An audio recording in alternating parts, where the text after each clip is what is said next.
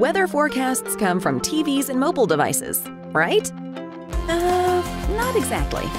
They start as photons and data collected in space by instruments like the Advanced Baseline Imager on the National Oceanic and Atmospheric Administration's GOES-R series weather satellite. Here's how it works and how GOES-R will help forecasters make more accurate predictions. The ABI is like a digital camera in panoramic mode. It scans a horizontal strip across the top of the Earth, then shifts down and repeats 21 more times until the entire side of the planet is imaged in just 5 minutes. Old imagers took 26 minutes and needed 1,356 strips to cover the Earth. At the same time, the ABI is collecting this full image faster than before. Images of areas with storm activity can be collected in 30 second intervals, providing very rapid updates of developing storms. Let's put this into perspective. 30 seconds is roughly the length for you to take and upload a selfie. The ABI isn't just fast, its resolution is even better than earlier imagers. Comparatively, it's the difference between standard and HD television. It's also opening up new channels, so scientists will know more about ice cover, wind, humidity, ozone, cloud cover, volcanic ash, and vegetation. The ABI produces 95% of the data coming from all six of GOES-R's instruments. Combined, they'll send the equivalent of about 210 HD movies to the ground each day.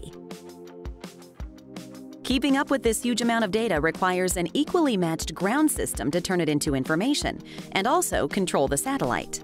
The satellite's instruments collect raw data that's sent to the ground via huge antennae that can withstand wind gusts up to 150 miles per hour. Directing and controlling the satellite is another important part of the ground system. Operators on the ground tell the satellite and instruments what to do and also control the position of the satellite in space. NOAA's ground segment is located at two sites with a third backup site. The ground system processes the data into information products for meteorologists and sends them to users by way of a special weather data processor, another access system, or by rebroadcasting to users worldwide. There's also an archive system available over the web where information is stored for use later. Data can be delivered to the National Weather Service in 30 seconds. That's about the same time to plug an address into GPS.